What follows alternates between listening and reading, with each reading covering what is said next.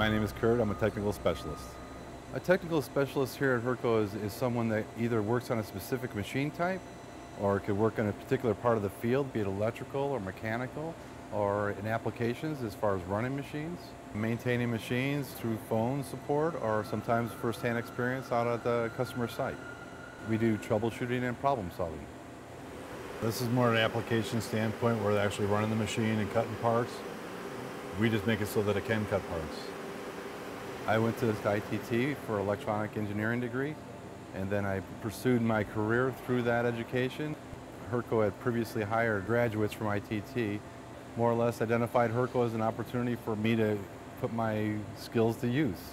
The best thing about my job is the opportunity to make customers happy with their equipment and to make them productive, as well as to stay on a leading edge of technology.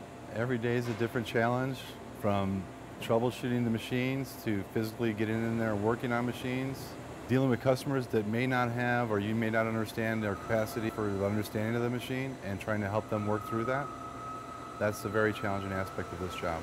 Select it on the touchscreen. Very good. Cycle start as the green light's flashing. Push it. And everything will automatically find its home. Hurco Tech Support, this is Kurt. A typical workday for me is supporting people over the phone and on occasion going out in the field to enhance their education about the machine as well as to make the machine functional if it's down or if it needs to be installed, whatever the case may be. I like the uh, opportunity to help people and to troubleshoot things and to be on a leading edge of technology, all three. I have a Hoosier Hot 50 job and I love it.